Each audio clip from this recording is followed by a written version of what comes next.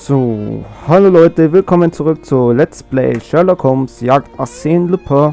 Wir sind jetzt der Einäugige unter die ganzen Blinden. Das war nämlich die Vorstellung von Sherlock Holmes zu Inspektor Lestrade. Nicht zu berichten.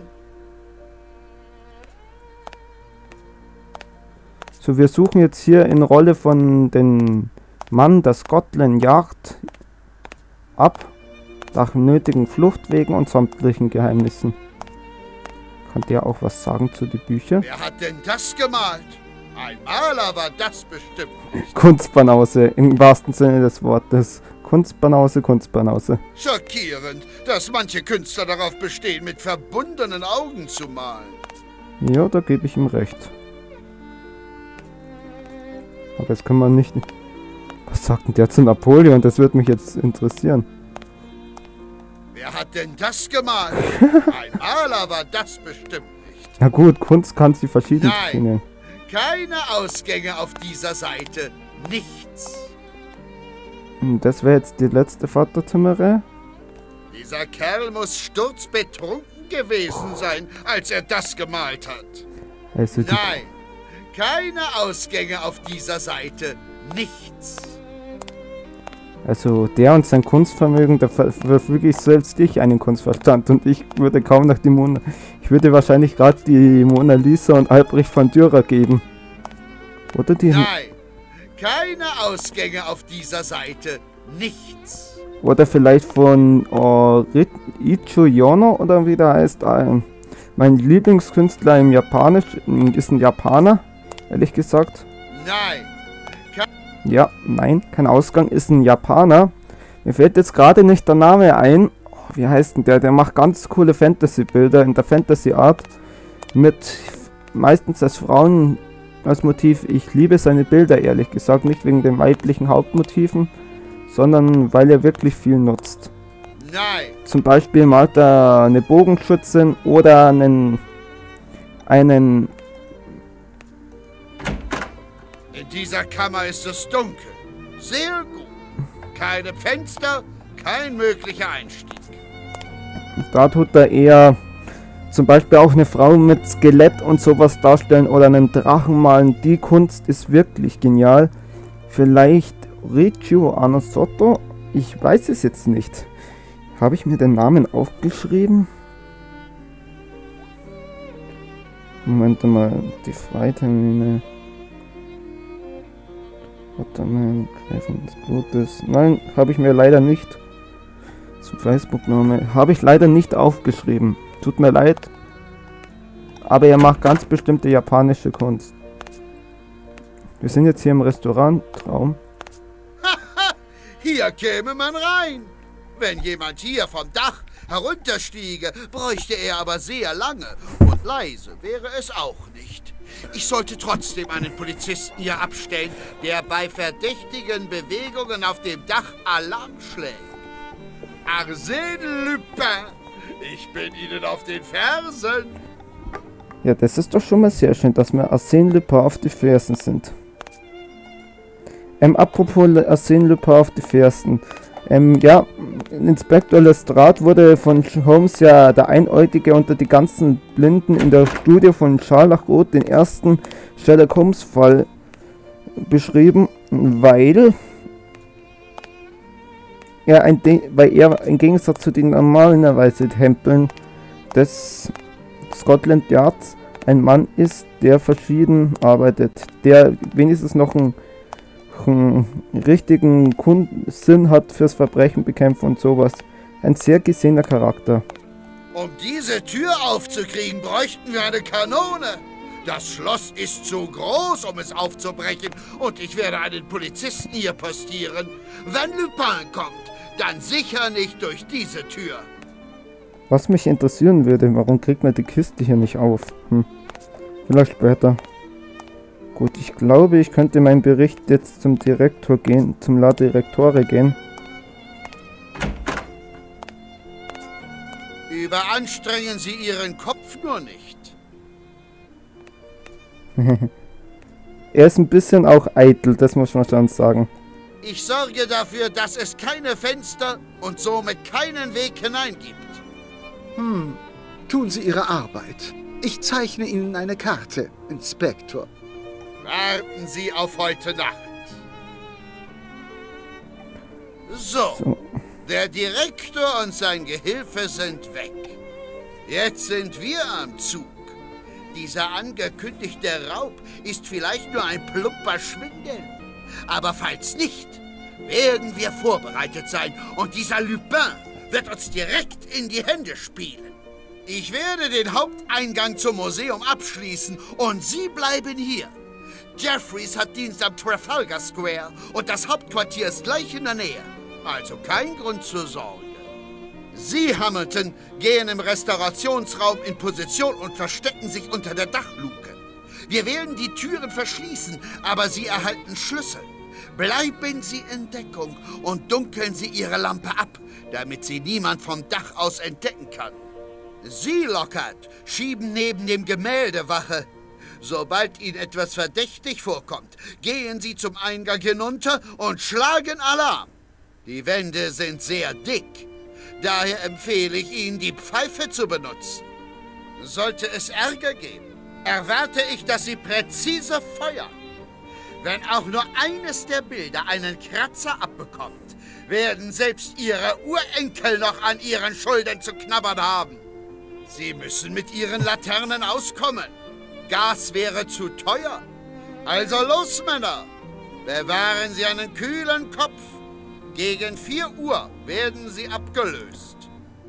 Tja, als Polizei des, des Londoners Scotland Yard hat man schwer. Was ist denn das? Ein Zug?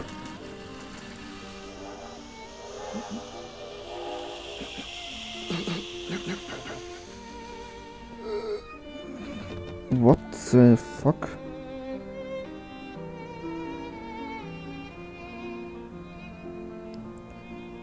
Dann müsste ich glaube, Arsene schlägt gerade, der Lupin schlagt gerade zu. Mich würde aber interessieren, wie ist der Typ reingekommen?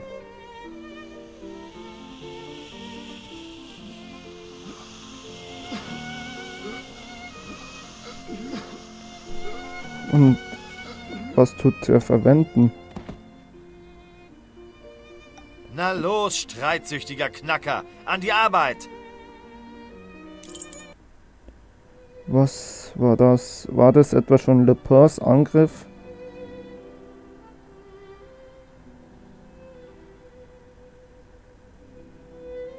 Wenn das Lepins Angriff schon war, dann ist das krass. Wie ist der reingekommen? Das wird mich interessieren. Sie hatten recht, Holmes. Der Polizist unten sollte uns tatsächlich einen Brief bringen. 15. Er ist von Juli.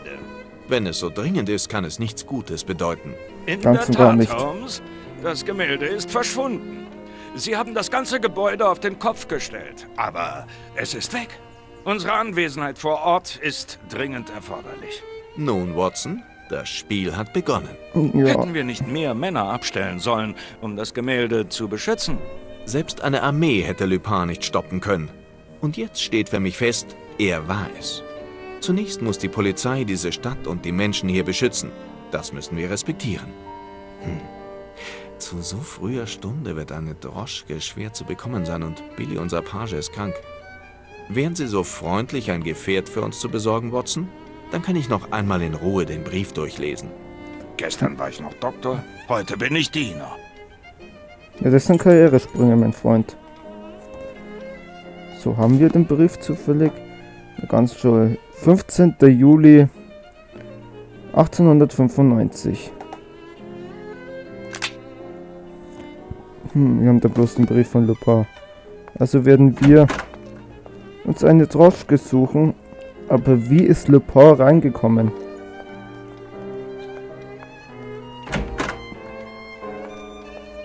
Oh, da ist ja ein Droschke. Was will der Sie jetzt? Feuer? Nein, tut mir leid. Wohnt Sherlock Holmes in diesem Haus? In der Tat. Kennen Sie ihn? Ja, ich habe die Ehre. Ich gehe ihm zur Hand. Wichtige Dinge. Wie Droschken ausfindig zu machen. Dachte ich's mir doch. Und Sie sind sein Diener. Und? Werden Sie gut bezahlt? Ich bin aber... Naja, damit kommt man sicher auch auf keinen grünen Zweig. Hören Sie, man munkelt, dass Ihr Chef eine ziemlich üble Nacht in diesem Gemäldemuseum erwartet. Woher wissen? Psst. Hören Sie, wenn Sie Ihr Taschengeld aufbessern wollen, hier ist meine Karte. Piers Arkad Allen. Das bin ich. Freier Reporter. Wenn Sie also aus dem Nähkästchen plaudern, soll mir das etwas wert sein. Sie finden mich in einer der Kneipen in der Gegend. Ich bin nicht zu übersehen. Wenn Holmes herausfindet, dass die Presse Lunte gerochen hat, geht er in die Luft.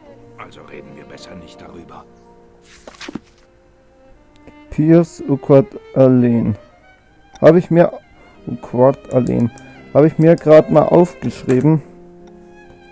Genauso wie Horace Valmont. Jeder, der mir verdächtig ist, wird von mir aufgeschrieben. Ich habe jetzt Palinor aufgeschrieben, Pointer, die letzte Vater Timaret, Horace Valmont und jetzt Piers Uquart Allen. Ich schreibe mir mal die ganzen Personen und Sachen, die wichtig sein können, auf. Ah, eine Droschke. Jetzt müssen wir Holmes finden und uns auf den Weg zur National Gallery machen. Nichts leichter ist das, Doktorchen.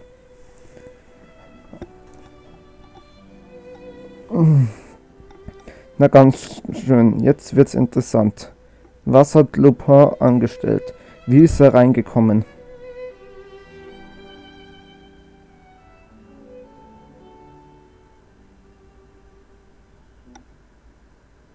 Endlich sind Sie da, Holmes. Wir haben nichts angerührt. Außer einer Leiter, die wir brauchten, um auf das Dach zu klettern. Sie haben sicher meine Nachricht erhalten. Das Gemälde wurde gestohlen. Was er nicht sagt. Die Fakten? Und warum trägt das jetzt ein Schloss, die Kiste? Keine Ahnung. Haben Ihre Männer irgendetwas bemerkt? Um ehrlich zu sein, so gut wie nichts. Sie konnten nichts tun. Wir wissen nur, dass es zwei recht durchtrainierte Männer waren, die den Raub begangen haben. Wir wissen nicht, ob die beiden Diebe außer diesem einen Gemälde noch etwas anderes entwendet haben. Sie haben das Museum, wie soll ich sagen, umgestaltet. Die Gemälde eines französischen Malers hängen jetzt überall an den Wänden und die ursprünglich dort ausgestellten Werke befinden sich im Büro des Direktors. Mhm. Was ist geschehen? Haben Sie eine Ahnung, was geschehen ist? Äh, also nicht wirklich. Aber ich habe nachgedacht. Wir wissen, dass die beiden Männer durch das Fenster im Restaurationsraum entkommen sind. Der zweite Mann ist dort eingestiegen.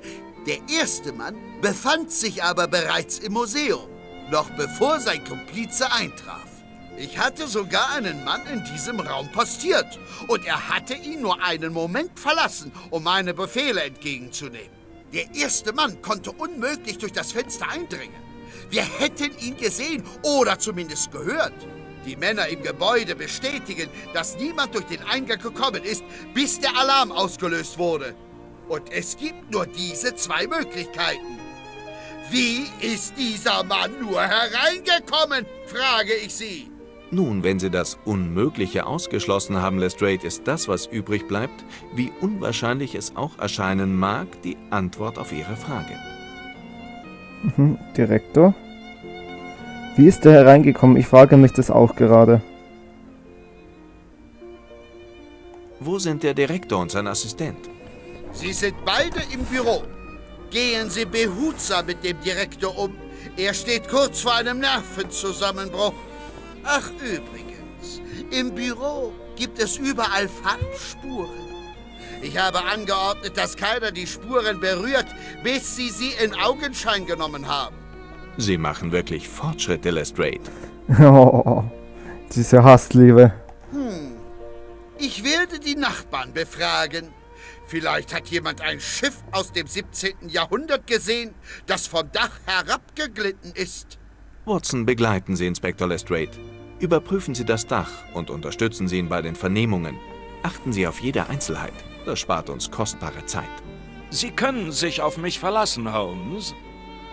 Sehr schön, dass wir uns wenigstens auf Watson verlassen können. So, warum ist da jetzt ein Sicherheitsschloss? Das ist ein Kombinationsschloss, eine französische Marke. Es sieht sehr massiv aus. Man kann es unmöglich ohne die Kombination öffnen. Da war doch gestern kein Schloss. Hat Lupin irgendwie eine Kiste zum Versteck genutzt oder sowas? Naja, schauen wir doch einmal, wie sehr die Schmierfinken... Schmierfinke? Ich sehe schon die grässlichen Kunstwerke. Guten Tag, Sie.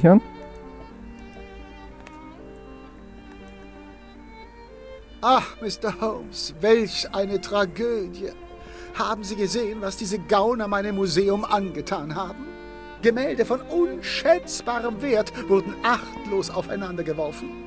Und die letzte Fahrt der Temeraire. Der Diebstahl? Beruhigen Sie sich, Herr Direktor. Wurde außer diesem Gemälde noch etwas anderes entwendet? Der Direktor und ich versuchen gerade eine Bestandsaufnahme der abgehängten Bilder zu machen. Wir sind noch nicht sicher. Gut, dann verabschiede ich mich. Vielen Dank, meine Herren. Gut, wir sind hier, falls Sie noch Fragen haben. Kommen Sie, Palinor. Machen wir uns wieder an die Arbeit. Dann schauen wir doch einmal, was haben wir denn hier alles? Ich würde mir am liebsten mal als erstes... Was ist denn das für ein Gekrakel? Das ist eine riesige... Hm, ein perfektes Beispiel für Neokretinismus. Ein Belmont aus der Genesungsperiode. Ist der Dürer etwa... Wir sind schon in der German... Nein, wir sind in der spanischen. Also ich muss sagen, die Bilder Wie schauen... schrecklich. Ich, da muss ich sagen, manche Kinder... Manche Kinder... Der Maler dieses Bildes wollte die totale Ablehnung des Ästhetizismus darstellen. Und das hat er geschafft. Ähm, was wollte ich sagen? Die waren, manche Künstler wurde vorbehauptet, dass die, dass die sich mit Katzen oder sowas die Bilder machen. Hm, ein perfekt... Dass die Künstler eine Katze mit Katzenschweifen und sowas malen. Und es gibt auch ein Zitat von Alligator, das ich her hervortreten lasse. Es sieht aus, als würde man im, als hätte man in Kacke getunkt. Das ist abstrakte Kunst. Selbstbildnis von Horace Belmont. Hm, ein bisschen narzisstisch, oder? Mhm, das würde ich auch meinen. Ein Glück, dass nicht alles. Geschlossen. Das sollte ja eigentlich offen sein. Wer ist denn eigentlich das? Jacques Cassotte, Porträt von Jean-Baptiste Perronneau. Geboren um 1715, gestorben 1783. Das ist doch jetzt ein Ernst, oder? Für einen Maler hat Belmont einen ungewöhnlichen Geschmack. Der Maler dieses Bild Das ist keine Kunst mehr. Der Maler dieses Bildes wollte die totale Ablehnung des Ästhetizismus darstellen. Und das hat er geschafft. Das ist doch keine Kunst mehr. Das ist. Das gehört eigentlich gestraft. Und was bist du für ein Kerlchen? Abscheulich, dieses Gemälde. Ein runder roter Rahmen mit etwas Grün in der Mitte. Was mag nur die Inspiration für dieses Gemälde gewesen sein? Keine Ahnung. Ich habe keine Ahnung. Hier irgendwo war doch das Gemälde. Wenn ich mich jetzt nicht recht erinnere, oder bin ich hier falsch? Niederländische Galerie. Oh, wir sind in der niederländischen. Das ist interessant. Ist das auch ein Kunst? Das ist aber jetzt kein Kunstwerk von Belmont. Hm, ein perfekt... Doch, weil das sieht eigentlich noch zu gut. Das sieht eigentlich noch gut aus. Winterszene mit Eisläufern vor einer Burg von Averkamp, 1585 bis 1634, einem der größten Maler der niederländischen Schule des 17. Jahrhunderts. Er hatte sich auf Winterszenen spezialisiert. Ursprünglich war das Gemälde ein Quadrat. Aber trotzdem sieht es noch schön aus. Meine Güte, hier, schaut, hier schauen manche Bilder aus, als hätte man sie in Kakte getunkt. Wie schrecklich! Das sehe ich auch, ehrlich gesagt. Ähm, Erkan und Stefan Zitat. Wir hatten auch so früher Kunst, so mit Hammer, so mit Pinsel, Farbe, Joghurtbecher, Plastik. Haben wir alles auf den Boden geschickt. Und die Leit haben wir alles auf den Boden geschickt und haben die Leiterin des Akrites reingekickt. Sie hat sich da drin rumgewälzt und hat geschrien, das ist Kunst, das ist Kunst, das ist Kunst. Ist das der Direktor? Sir Pointer, der Museumsdirektor, wird hier ausgestellt. Wie amüsant. Ja, das ist tatsächlich amüsant. Aber ich weiß nicht, ob so eine Kunstverschwendung ehrlich gesagt amüsant ist. Hier verliert man so schnell den Überblick. Die Galerie mit den italienischen Werken. Sind wir bei den Italiener. Sehr schön. Was ist denn das? Auf den Boden wurde ein großes rotes Quadrat gemalt. Wahrscheinlich von Lupin. Aber mit welcher Absicht? Hm, das werden wir vielleicht herausfinden. Was ist hier in dem Raum drin? Hier ist es zu dunkel, ich kann nicht sehen.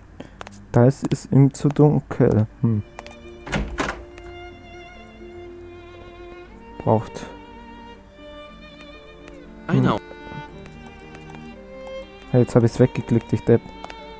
Hier hat hier Listrat Wache gehalten.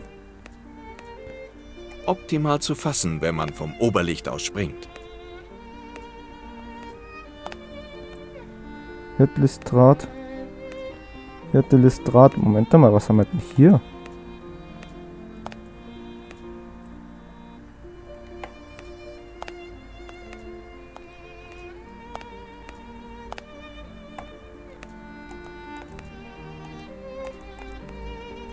Die Person, die diese Fußspuren hinterlassen hat, ist mit ihrem ganzen Fuß in die Farbe getreten.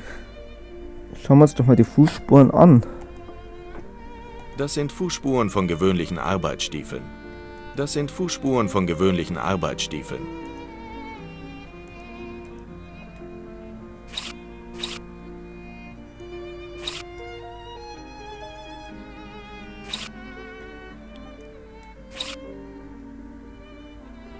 Hier ist es nicht messen und warum nicht?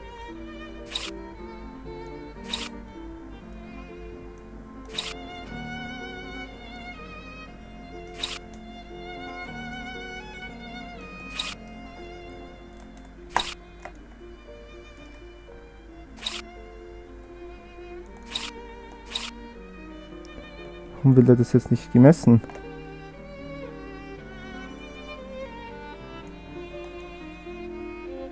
Was hat, hat, dazu, hat er jetzt dazu was gesagt?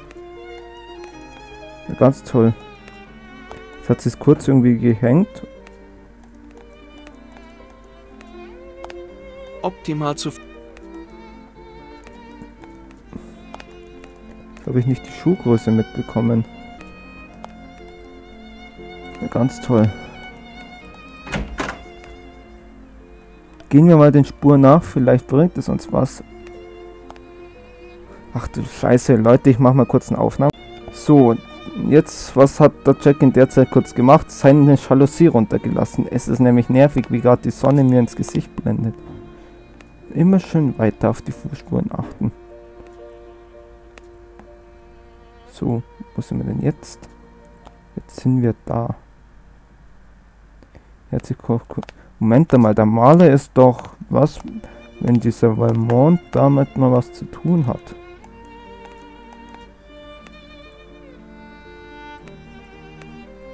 Fußspuren. Da. Mhm, schauen wir doch einmal nach.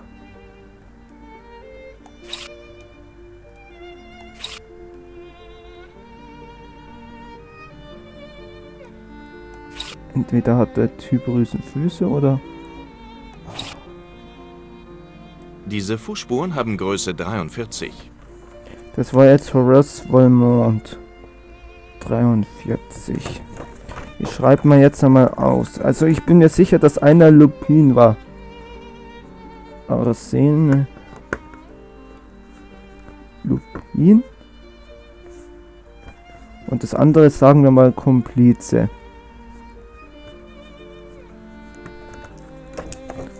Also Volmont hat 43. Und was dazu noch? Das sind Schuhe mit biegsamen, rutschfesten Ledersohlen aus Frankreich. Das Profil ist unverkennbar. Das sind ohne Zweifel die Schuhe dieses französischen Malers, Horace Velmont.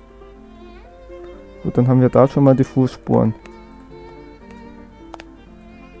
Der Teppich ist blöd, weil da kann ich kann jetzt die Fußspuren nicht mehr verfolgen. Also hier sind noch irgendwo welche leicht tapper zu, zu finden. Uh, was sagte ich denn gerade? Leichte Tapper. Immer schön weiter, immer schön weiter, immer schön weiter, immer schön weiter.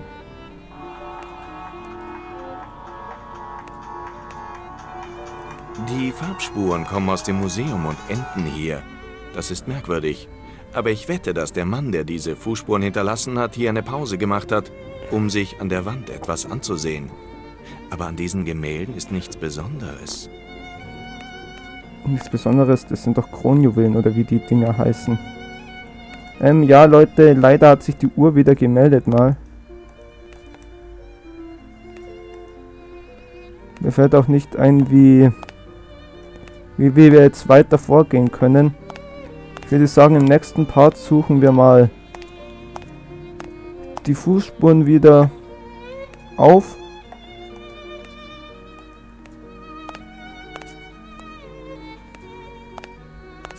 Was sind denn jetzt hier die Fußspuren? Führen hier raus zwar, aber wohin? Dann hier runter auf den Teppich. Die müssen doch hier irgendwo auch zu sehen sein.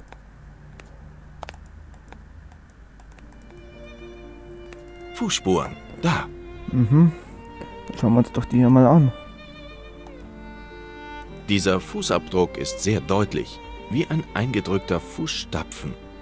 Dieser Fußabdruck ist eher schwach. Der Mann, der diese Fußspuren hinterlassen hat, ist zurückgekommen. Er hat etwas Schweres getragen, als er diese Treppe hochgestiegen ist. Vermutlich Gemälde. Mhm. Die Fußabdruck, die Größe 45. Ich weiß nicht, wer die 45 hat. Aber schauen wir mal. Hm, mal schauen. Also Leute, sehen wir uns dann im nächsten Part von Let's Play Sherlock Holmes. Jagd Arsène Lupin. Wiederschauen, reingehauen und Servus.